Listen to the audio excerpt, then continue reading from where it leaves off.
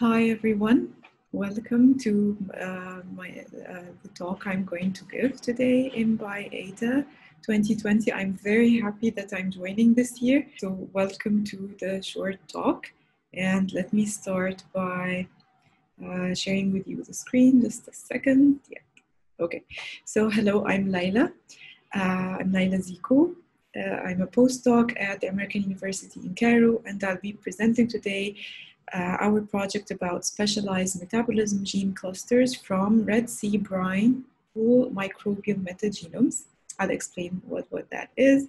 And here are my colleagues and my PhD uh, advisor, Professor Rania Siam. Since BIATA 2020 is from, uh, so bioinformatics from uh, algorithms to application, I'd just like to start off that our project was about applying bioinformatic algorithms to uh, find new small molecules or specialized metabolites and their clusters. So it is a form of an application. Go ahead and check our uh, paper, a recent paper, uh, which I'm going to talk about briefly today. I'm going to give a brief intro about the elements of the project. If somebody is not familiar with them, I'll talk about our aim of the study and uh, our methodology what were our main findings and a conclusion. So first of all, on Twitter, I just wrote, okay guys, academic Twitter, hashtag academic Twitter, what are chemotherapeutics? So the people working with microbes told me, of course, they are antibiotics only. And people working in cancer, they said, of course, they are anti-cancer drugs only. But actually, in the broader sense, they are both. So chemotherapeutics in the broader sense, I'm talking about drugs that are antibacterial, could, be antibacterial, and also the broader definition encompasses also the anti-cancer drugs. And so our main aim was to, the big goal was that we are trying to find new antibacterial drugs and new anti-cancer drugs. And of course, with the COVID-19, uh, which it's still going to be studied further, but um, it, when we talk about it's not only the SARS-CoV-2, it's also the underlying um, bacterial resistance. So there, the antibiotic resistance is a huge issue and it's infecting 2 million people a year only in the US. It's killing people. And with the advent of COVID 19, it's also most probably, but this needs to be verified. It's, it's, it's a huge problem. And also, chemotherapeutic resistance is a huge problem. So, we need to find new uh, chemotherapeutics in the broader sense. Among the drugs are drugs that are coming from natural sources, and these were formerly called secondary metabolites. Now they are called specialized metabolites, and they are natural products that are very, very uh, important they are so important that Davies and Ryan in 2012 they suggested they actually be put in the central dogma. So they are compounds that are uh, produced by several organisms that have a huge importance to the, the organism that is producing them and also has a lot of interesting and important pharmaceutical applications. So in terms of chemistry, if we look at those specialized metabolites in terms of chemistry, they have a lot of different chemistries. So some are uh, polyketides, some are peptides like the RiPPs, which are the ribosomally synthesized and post-translationally modified peptides. Also peptides are the non-ribosomal peptides. A lot of specialized metabolites could be saccharides, could be terpenes, and could be hybrids of more than one uh, uh, type of compound. We can actually look at the genes coding for them, and they are usually present in the form of clusters, which are called biosynthetic gene clusters, BGCs, or specialized metabolism gene clusters, we can call them SMGCs. So if we, we can manage to detect the SMGCs, we can detect possibly and look for new natural compounds that have um, a pharmaceutical application. And if we look at the FDA approved drugs right now, more than half of the antibiotics and more than half of the anti-cancer drugs are from a natural origin. So if we take a look at the history of the natural products and are they a source of drugs or not, it was really booming back in the 50s and the 60s, but, but then scientists um, uh, uh, were looking over and over again in the same sites and also using the same culturing tools. And so these were the low hanging fruits, and a lot of scientists just kept on rediscovering the same molecules again, the same compounds again. So the pharmaceutical industry in the 90s just stopped funding um, this line of research of finding uh, drugs in from natural uh, sources. But then, with the advent of sequencing and new technologies, it is reported that promising candidates with new natural compounds, they could be symbiotic organisms and they could be also free living extremophiles. And here comes our project.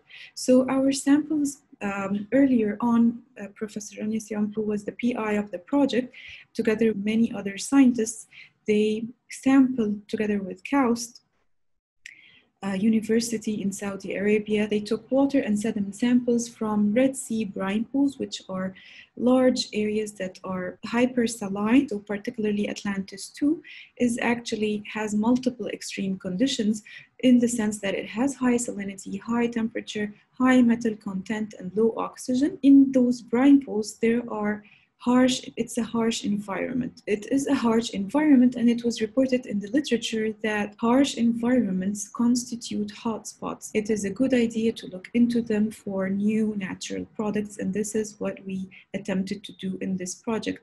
So, samples were collected originally um, by my uh, PI and team from Red Sea brine pools, from three included brine pools in, were included in this project from Atlantis 2 Deep, Discovery Deep, and Kebrit Deep. Why is it important to look into such an underexplored environment? Because we can look uh, in something that has not uh, previously been thoroughly studied. Also, because our metagenomic study is looking at the, most of the species which are still uncultured species. And although it is currently a debatable paradigm because uh, last summer uh, two papers from ISME, one said mostly was cultured, the other said mostly is uncultured, but still in order to tap into more species without culturing them, metagenomics and sequencing technologies are really crucial. For our workflow, after the sampling and extraction of the environmental DNA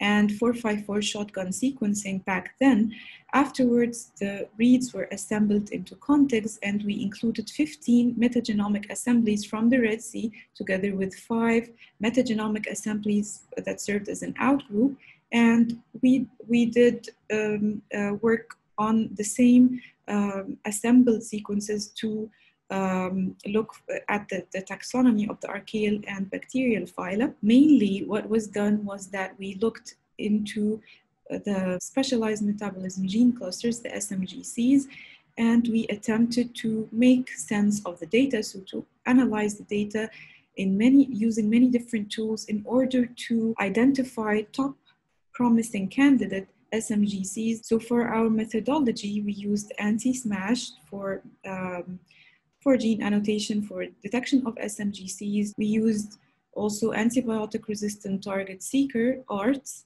tool to screen for resistance genes and prioritize uh, the SMGCs that would have a novel that would uh, potentially code for a new antibacterial compound we also did hierarchical classification. We normalized the, um, uh, the, um, the sites based on the number of assembled reads. We also used MG-RAST for taxonomic classification. So here, if we take a look at all of the SMGCs in all of the Red Sea brine, all of the samples that we analyzed, just the Red Sea, um, not the outgroup that we include later on, we look, we take a look and we find 28 different classes and mostly, so the, the biggest group, which is like um, usually this is the case, are the saccharides and followed by the putative SMGCs along with the, the other different SMGC types that were detected. And here, I, I really am fond of this uh, figure because if we, if we'd like to take a look at really harsh environments. So here we're taking a look at Atlantis 2 lower convective layer, which is the one with the harshest conditions. It's the highest temperature, highest salinity, and it has so it's multiple harsh conditions, and you see the beauty that it codes for a lot of different potential chemistries. That is beautiful also with the Kebrit deep upper interface and Kebrit brine is actually characterized by having a high hydrogen sulfide content. It's beautiful to see the different chemistries that we see even in the harshest of environments that we analyze, which is beautiful. So we analyze the data closely and we did the hierarchical classification from the heat map, most of the brine uh, sites clustered together with the exception of one for the water samples, and they clustered together in the sediment. And this gives us um, a signature or a brine signature that yes, brine, water samples, and sediment samples are mainly forming a, a, an SMGC signature. So it doesn't mean that the SMGCs, uh, so the molecules they are potentially uh, coding for, um, they are they do they have a role in maintaining the survival of those organisms in their environment, this is a very exciting question to look into. And when we took a look at the bacteria and archaeal phyla, they actually were quite different. Meaning that, for example, if we take a look at Kebrit Deep brine water samples, they actually clustered together differently, but when you take a look at their phyla, they had similar phyla. This suggests that this is a phylogeny independent evolution, but of course, more uh, analysis and more um, uh, studying has to be made to uh, come up with a more solid conclusion. But this is what um, our study uh, highlighted. And then we went on to prioritize the top promising candidate Red Sea SMGC. So if we were to choose among all of our detected SMGCs. So we detected 2,751 SMGCs from the Red Sea samples. And um, our uh, average uh, SMGC per megabase was actually 0.38. And this is actually six times less than what was reported for genomes. Uh, this, is, this owes to the fact that metagenomes are really harder to uh, analyze and harder to detect, especially with antiSMASH. We believe that antiSMASH gave us actually a very low estimate because of the way that it analyzes and our samples are mostly unknown. So they don't have a, a very high alignment with the already known genomes and metagenomes. And for this, we are planning to use deep learning methods so deep learning algorithms to uh, detect more SMGCs or have a better idea of uh, our samples potential. We went on to identify and prioritize the top promising candidate Red Sea SMGCs. So if we were to choose some of those hits to work on experimentally, which ones would we go to? Because of course, experiments are laborious, they take a lot of time, they take a lot of um, funding and um, uh, manual work. So it is very important to identify the top promising candidates. And for this, we first of all we classified the SMGCs into three main groups based on their potential function. And among our top promising candidates were those in group two that in the literature these uh, uh, compounds a lot of them have been reported to be antibacterial and or anti-cancer. Also um, those with a, a a predicted core structure were also prioritized. Another group that were prioritized also in the study were those SMGCs that gave hits uh, with ARTS, which is the antibiotic resistant target seeker, because they encode for housekeeping and resistant genes that uh, renders them very high, uh, um, they have a, very high potential of coding for a new antibacterial compound. And lastly, we prioritize uh, also the RiPPs, so the ribosomally synthesized and um, post-translationally modified peptides. These are very also very important because So the, the ones that we detected, we detected bacteriocin saccharide, bacteriocin hybrid clusters, we detected microcin clusters, we detected lanthanum peptides, uh, SMGCs.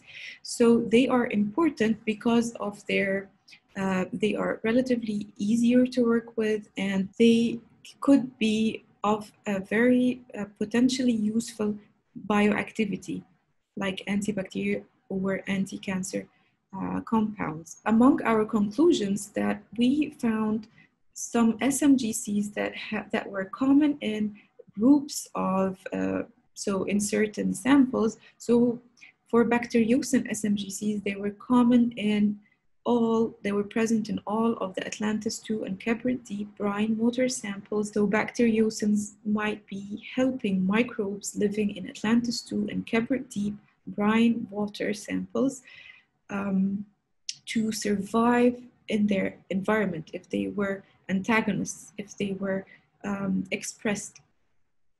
Also, terpenes, uh, SMGCs were common in all the sediment samples and also in one of the shallow seawater samples.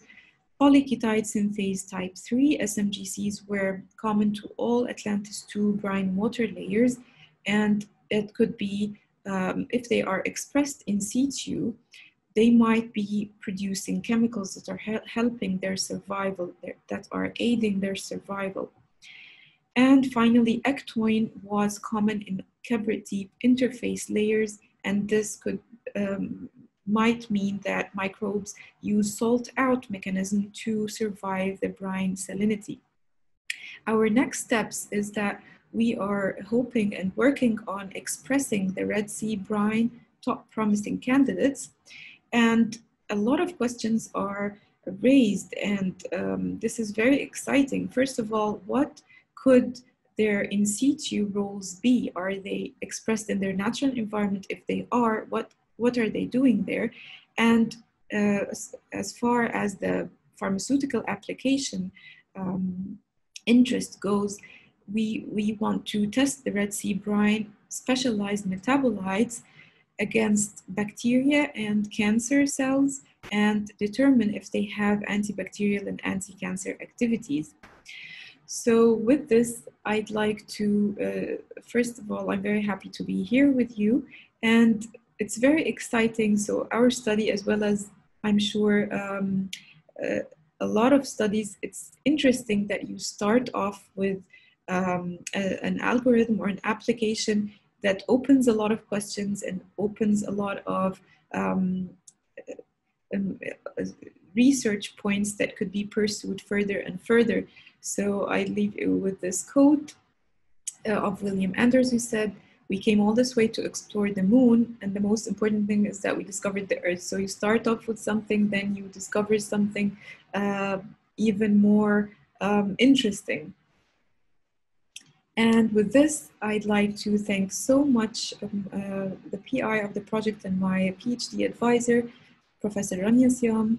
I'd like to uh, thank so much my co-authors, Mustafa and uh, Muhammad, and also uh, this project uh, and the scholarship and research grants I have received in my university earlier that have enabled me to complete uh, this study and with this, I'd like to thank you so much for joining me today, listening to the talk. Please reach out. If check out our paper, send me if you have any questions, or we can discuss similar projects. We can uh, work together.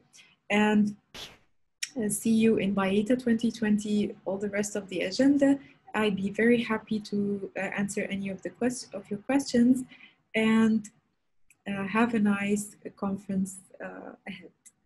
Okay, bye bye.